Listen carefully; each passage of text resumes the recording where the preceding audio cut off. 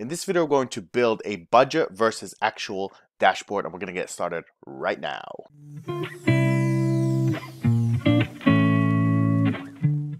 All right, we're here in Excel and we're going to just go through the data set we're going to be using. If you want to follow along, it is in the description below. Feel free to download it. And there's actually two structures we're going to be looking at because typically in my professional experience, it's usually one or the other data set you're going to get into.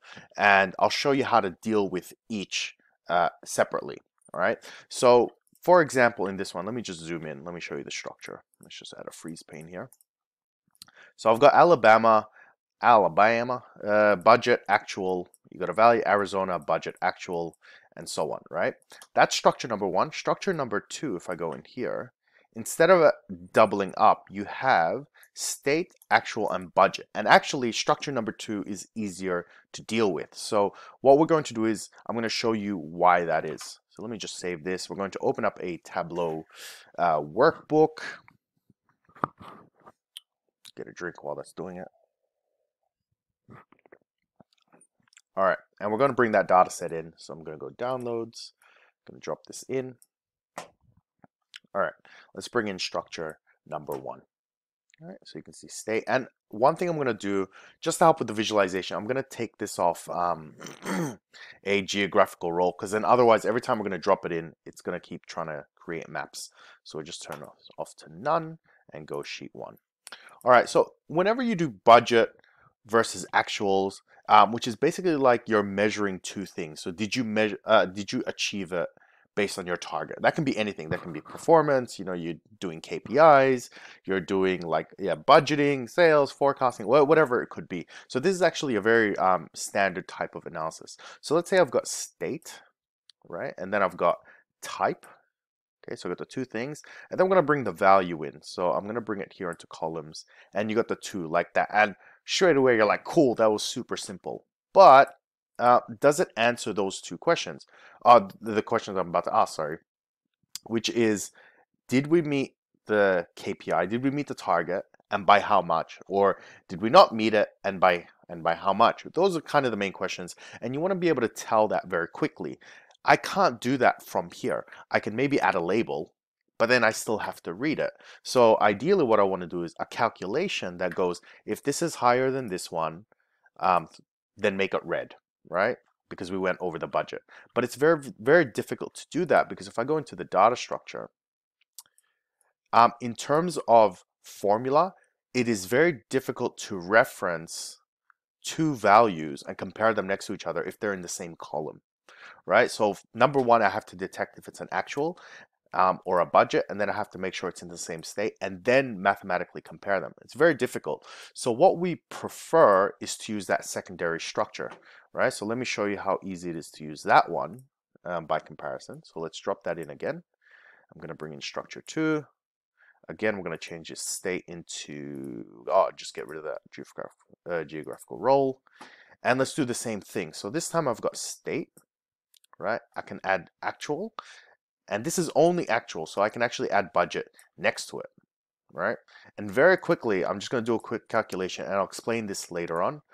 Um, we're just to compare the two here, right? So this checks for how off uh, when the actuals went over the budget, right? Simple calculation, and straight away I can see it, right? I can do all sorts of crazy things, which is which again I will explain uh, later on right?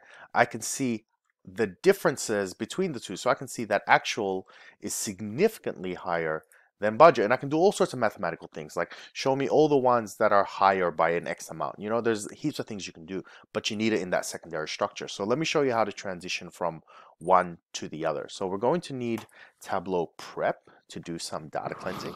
Now, if you've never used Tableau Prep, this thing is just the best, right? Um, and it is basically a data cleansing tool. It lets you restructure things, lets you clean data, ah, just all the wonderful things that an analyst wants, right? It's sort of like a baby version of Alteryx if you've ever used that. Okay, so let's bring in the data.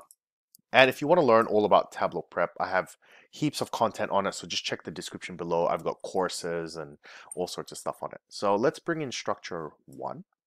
and you can see it's building a flow. We've got the state, type, and value, so the data fields we're bringing in. I'm going to go in here, I'm going to go pivot, right? Which is basically we're going to rotate the data. So what we want to kind of pivot it with is this type field. But before you do that, you have to go into this setting right here and go rows to columns, right? Columns to rows is to unpivot, and then row, rows to columns is to pivot, which is what we want, right? So some people are going to be going, well, just do it in Excel. Um, you know, why go through all this trouble? Well, the main reason is because um, every time that data comes in, you have to open up Excel, you have to highlight data, you have to pivot it, you have to structure it, you have to do all this kind of stuff. And if you need to do data cleansing on top of that, you got to repeat that every day.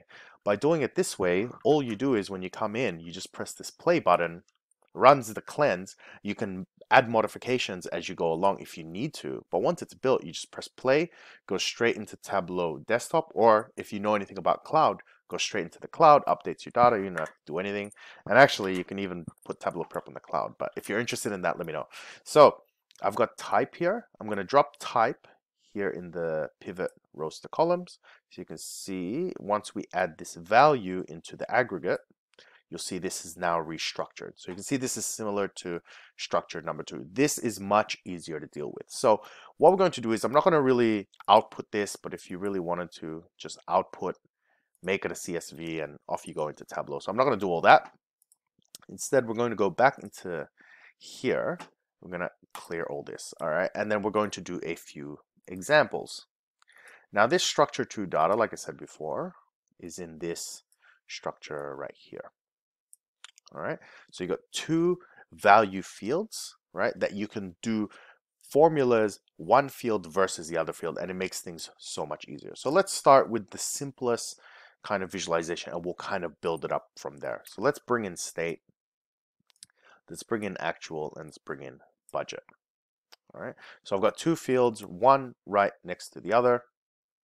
I can do that formula again and compare the two. So I can go create calculated field.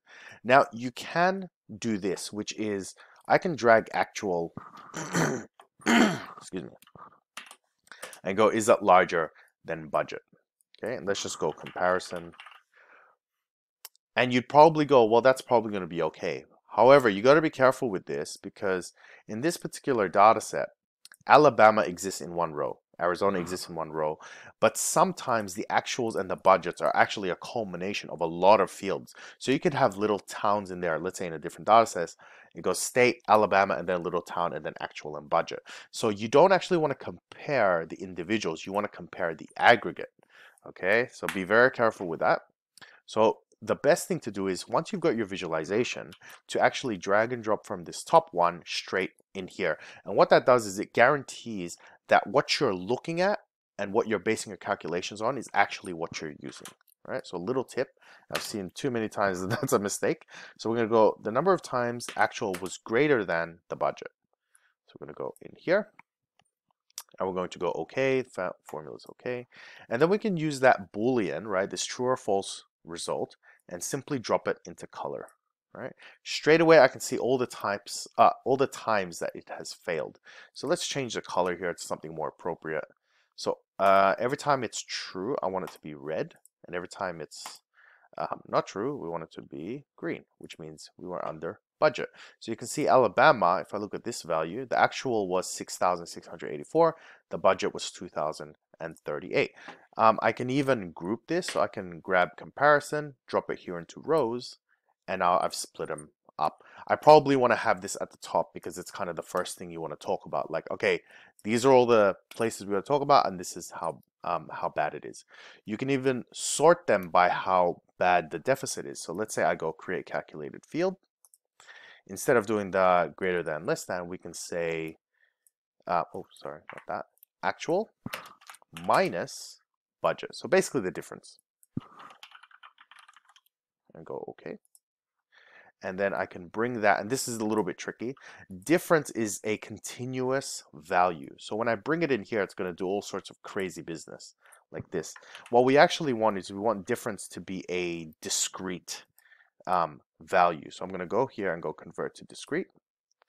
And then we're going to bring this into rows. And that just stops it from kind of going crazy.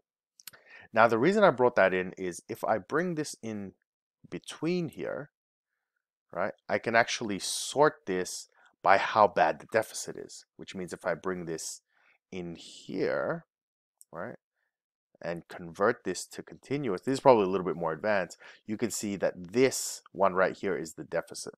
All right, so let's resort this. Uh, let's go. No, hang on, I'm sorting the wrong thing. It's this thing.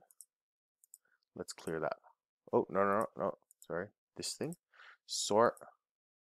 Oh, no, you can't sort. I think I have to go like this. There we go. That's what I was after. You got to press this sort button right here. I don't know why you have to use that and not this one, but eh, whatever. So this is actually telling me Iowa is the worst case. Now, this thing I don't actually want in here. So I can actually, I think, um, hide that by just right clicking show header, right?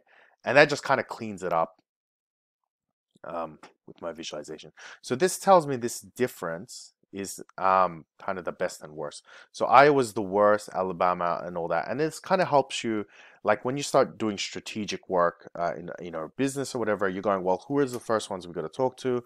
Um, and let's see what the issue is, and then you kind of go from there. All right, so that's kind of one variation you can do. Let's do another one. So I'm going to build that same thing. So actuals and budget. All right. So this next one is going to be a um, measure value. So instead of using this to kind of see what the difference is, you can actually get rid of this part entirely and let the visualization show you that, right? So what we do is, instead of bringing budget up here, we're going to grab budget, right? And we're going to drop it over this axis right? And you can see it's got this little square thing or whatever. Um, and you drop it there. And what that does is it creates a measure value bucket, right? So you'll see the visualization and all the pills and stuff change like so. So you can see that the measure value is in here and what's contained in there is anything you put in here. So if I have more measures, I can keep adding those in here right? And it'll keep adding here in my visualization, right? So that's how measure values work. Um, if you're not, if you still get confused by that, because I got confused by that early days, um, just let me know in the comments below and I'll do a video on that. All right, so I've got actuals and budgets. I can use that formula again, the comparison, and add some color, right? And just visually, you can actually see the difference, right? That that one is actually much, uh, the actual is much higher than this budget. We can again add that comparison to the first part. We'll flip these around. I want this kind of at the top. Uh, I think it's easier if I drag this one underneath. There we go. You always want the problem at the top because you want to highlight that this is what needs to be fixed, right? So you can see that um, as a comparison. You can also go a little bit further than this, right? Which is you can start overlapping these fields. So this measured values is great because it's kind of like a side by side, but the overlap is kind of like a more KPI-ish um, in view. So let me show you how to build that variation, right? So I'm going to go state. I'm going to go actual. I'm going to go budget, right? So still pretty standard. And on this second one, I'm going to right click. We're going to go dual axis right? Now, don't freak out with what you see, you know? So if you're drinking something, just put it down, right? So you can see it goes a little bit crazy. Don't worry. Um, what Tableau is doing is, because it's on the automatic setting, based on the structure you have, it tries to guess the best way to visualize the data. But automatic's not always, you know, it's not always good. I'd say like 90% of the time it's pretty good. So I'm going to switch this to bar, right? And make sure you're in the all setting. Now what this is doing is it's actually overlapped one on top of the other. Okay, but it's a bit difficult to see because they're kind of the same shape. So what I'm going to do, uh, what I'm going to do is I'm going to switch this to fit width, right? And I'm going to make this a little bit wider, like that. Okay, so you can do a bar in bar kind of view. So what you do is, I believe the smaller one is the budget. Yes. Okay. So you want the um, the the one that's on top, which is the orange, to be thinner, right? So you go in here into budget, go size, and you want to reduce this by about maybe 25%. Okay. Typically what I do is it's a third of whatever the one behind it is. So you just keep adjusting it. And that seems to kind of look the best. So maybe like something like that. All right. And actually, you kind of don't want the budget to be the small one. You want the big one to be the budget. So what I'm going to do is I'm going to flip this around. So you just grab the first one and put it behind the other one. And that just reverses, reverses them. Okay. So let's make this one larger. Okay. And then we'll switch the other one to be smaller. Okay. Like so. And then what we do is also we'll make the one in the back a little bit translucent. So we'll reduce the opacity a little bit, right? Because we want the actual to pop out, right? We can use that comparison and drop it into rows like so. Now again, we want the trues to be on top. So let's drop that false at the bottom. Okay, so you can see these are all the trues, right? And you can see that um, these ones have, I mean, look at Iowa, it's massive, right? You can see straight away just from here. And what's interesting is you don't even have to mention any numbers. You don't have to tell someone, it's like, this is 40. They just know because the way the human brain works is they, they can just recognize this. Oh, the other thing you got to make sure of, whenever you use dual axis, these need to be synchronized if they're on the same time, uh, same value scale, right? Especially if you're doing these kinds of comparisons, because let's say this only goes up to 10,000, but the other one, but the one on the top goes up to 30,000. Um, it's very easy to miss. And then the way it visualizes, you think, oh man, we've gone over budget. So just make sure that's synchronized if you need it to be synchronized for your type of visualization. All right. So there is that type, and there is one more we're going to do, which is a variation on this one. So let's build one more. So I'm going to go state. Again, we're going to go actual. We're going to go a little bit faster this time, actual budget, because I don't want this to go too long. We're going to right click dual axis again, right? Switch this to bar. Now, I think I'm going to reverse these straight away, okay? Um, let's make this a little bit wider. Okay, something, maybe something like that, okay? Now let's make the actual um, sorry, let's make the budget this time smaller. Okay, so you can only see, there's only a few here, budget, like that. Something, maybe not too thin, something like that, right? And then for the actual, we're going to do is instead of bar, we're going to use a Gantt. And what that does is it just makes a vertical slit instead of a, an entire bar, right? You can see it come out like this. There you go, right? And what we can actually do is for the actuals, uh, did I reverse this? This is the budget. Yeah, that's fine actually. Uh, no, I think I got this in reverse. I got this in reverse. Sorry. This one should be Gantt. This one should be bar. My bad. Okay, let's reverse this. I think for this one, it's actually this way. Okay, so let's make this one thinner, like so, and make this one a lot wider. Yes, that's what I want. Yes, yes, yes. Okay, and now for the uh, for the actuals, instead of using that as a color, we want to use that comparison as a color. Right, so you can see that it's gone way over. For the budget, instead of measure names as the color, we want this to be something like black, really noticeable kind of colors. Okay, something like that. So that's a another type of visualization. So we went through heaps of different kind of structures and kind of ways to clean the data structure. So I hope you enjoyed. Be sure to drop a like. Be sure to subscribe. I release new videos uh, three times a week. Um, and until then, have a great day and bye.